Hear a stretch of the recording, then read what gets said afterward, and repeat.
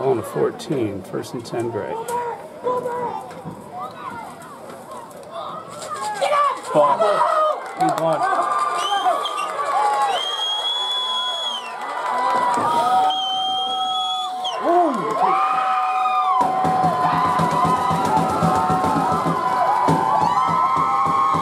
Touchdown Blue! Number seven, Dougie Sena returns the fumble all the way back for the Blue score.